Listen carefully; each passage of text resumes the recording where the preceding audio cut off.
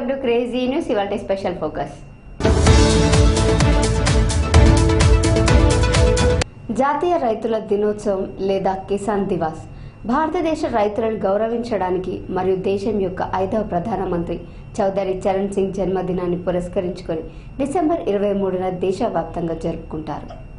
జాతీయ రైతుల దినోత్సవం లేదా కిసాన్ దివాస్. భారతదేశ రైతులను గౌరవించడానికి మరియు దేశం యొక్క ఐదవ ప్రధానమంత్రి చౌదరి చరణ్ సింగ్ జన్మదినాన్ని పురస్కరించుకొని డిసెంబర్ ఇరవై మూడున దేశవ్యాప్తంగా జరుపుకుంటారు. ఈ సంవత్సరం దేశ రాజధాని సరిహద్దుల్లో రైతుల నిరసనలు తీవ్రతరం అవుతున్న నేపథ్యంలో కిసాన్ దివాస్ జరుగుతోంది. బీజేపీ నేతృత్వంలోని ప్రభుత్వ వివాదాస్పద వ్యవసాయ చట్టాలకు వ్యతిరేకంగా భారతదేశం అంతటా లక్షలాది మంది రైతులు ఉద్యమంలో చేరారు. ఇప్పుడు రెండవ నెలలోకి ప్రవేశించారు. కానీ డిసెంబర్ ఇరవై మూడుని జాతీయ రైతుల దినోత్సవంగా ఎందుకు జరుపుకుంటారు? రెండు వేల ఒకటిలో చౌదరి చరణ్ సింగ్ జన్మదినాన్ని కిసాన్ దివాస్గా జరుపుకోవడం ద్వారా వ్యవసాయ రంగానికి మరియు రైతుల సంక్షేమానికి ఆయన చేసిన కృషిని గుర్తించాలని ప్రభుత్వం నిర్ణయించింది. అప్పటి నుంచి డిసెంబర్ ఇరవై మూడుని జాతీయ రైతుల దినోత్సవంగా పాటిస్తున్నారు.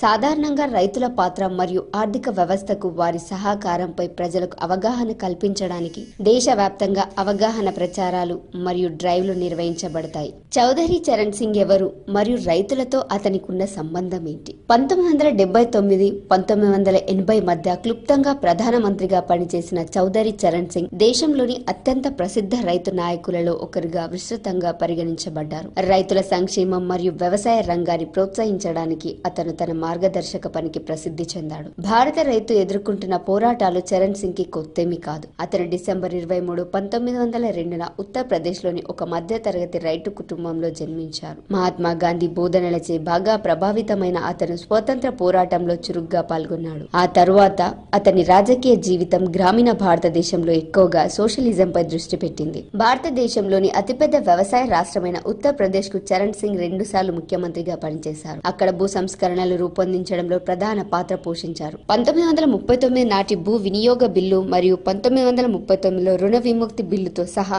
అనేక ప్రధాన రైతు ఫార్వర్డ్ బిల్లుల వెనుక ఆయన ఉన్నారు. పంతొమ్మిది వందల యాభై రెండులో వ్యవసాయ శాఖ మంత్రిగా పనిచేస్తున్నప్పుడు జమీందారీ వ్యవస్థను రద్దు చేసే ప్రయత్నాలకు ఆయన నాయకత్వం వహించారు. వాస్తవానికి అతని యూపీ జమీందారీ మరియు భూ సంస్కరణల బిల్లును స్వయంగా రూపొందించాడు. డిసెంబర్ ఇరవై మూడు పంతొమ్మిది వందల డెబ్బై ఎనిమిదిన అతను కిసాన్ ట్రస్ట్ను స్థాపించాడు. రాజకీయేతర లాభాపేక్ష లేని సంస్థ అన్యాయానికి వ్యతిరేకంగా భారతదేశంలోని గ్రామీణ ప్రజలకు అవగాహన కల్పించడం మరియు వారిలో సంఘీభావాన్ని పెంపొందించే లక్ష్యంతో.